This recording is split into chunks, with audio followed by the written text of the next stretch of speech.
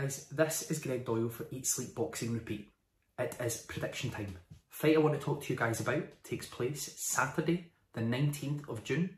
It is for the WBO, WBA and IBF World Lightweight titles.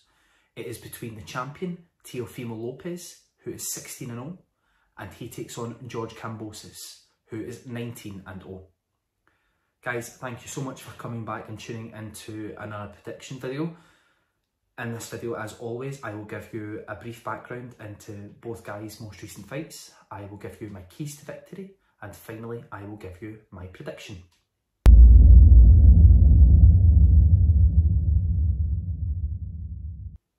So let's start off with the champion, Teofimo Lopez.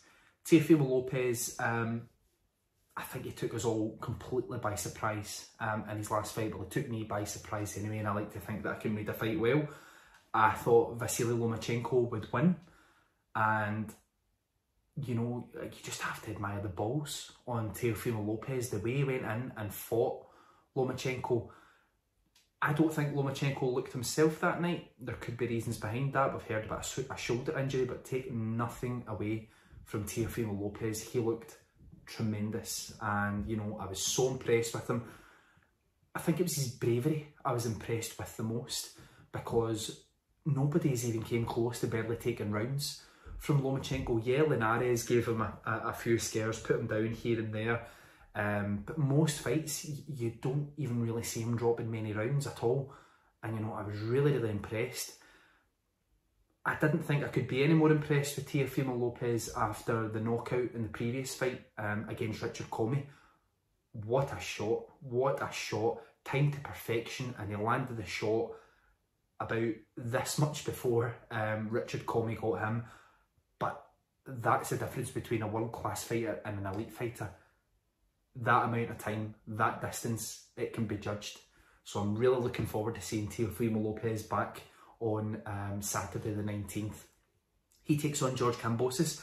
George Kambosos, um, pretty well known in this country now after the, the tight win over Lee Selby very good fight. I just think at times that George Kambosos outworked Lee Selby. And, you know, I would have liked to have seen Lee Selby at super featherweight instead of jumped from feather to lightweight. But he was obviously killing himself to make the weight and things. But I was impressed by George Kambosos that night because you see these guys coming over sometimes with these impressive records. They don't live up to what the record suggests, but he'd also been coming off a really impressive win over uh, Mickey Bey in the fight beforehand uh, with Lee Selby. So, you know, I'm really impressed with George Kambosos and again, he just seems like a guy that's, he's just not scared. You don't expect many boxers to be scared, but from previous experience when I had my own amateur career, you, you've got these nerves and you've got these doubts before you know, you go to the ring, you'll see it with some guys like, like for example, Mike Tyson. Mike Tyson used to cry sometimes before he walked to the ring. He, he was that nervous, but I don't see it in these two guys. I think they really, really believe in themselves. And when two guys believe in themselves, it makes for an incredible fight, incredible fight.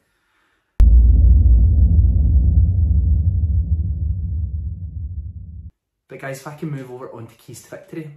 Um, keys to victory for Teofimo Lopez, I think he needs to time George Kambosos. I think he needs to understand that George Kambosos is a busy fighter so if George Kambosos is going to throw lots of shots, Teofimo Lopez just needs to take a step back, maybe throw a right hand left uppercut on the way in, keep him thinking, but try and time him. I think timing is going to be very important for Teofimo Lopez in this fight. Use his skill set and time George Kambosos. Make him think about when he wants to come in and throw these six and seven shots that he did with Lee Selby.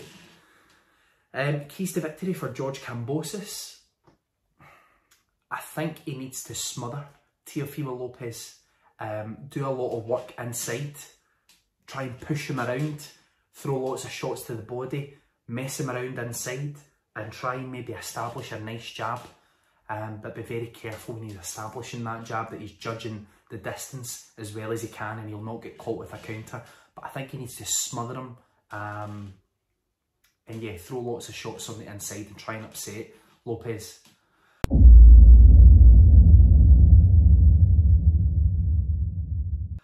But guys, over and on to prediction time. You know, I do think it's an interesting fight because I think both guys are hungry. Um, but one fighter just showed me in the last fight that they're elite when I didn't. I feel quite silly because I didn't really see Teofimo Lopez as elite. I seen him as a very, very good kid who had a lot to learn. But that performance against Lomachenko was just so, so mature. So mature. So, guys, I'm going to pick um, Teofimo Lopez to beat George Kambosos. I think he could time him perfectly with a counter and knock him out. And that's where I'm probably leaning most towards. But I do see him winning. And even if it goes to points, I see him winning very, very convincingly indeed.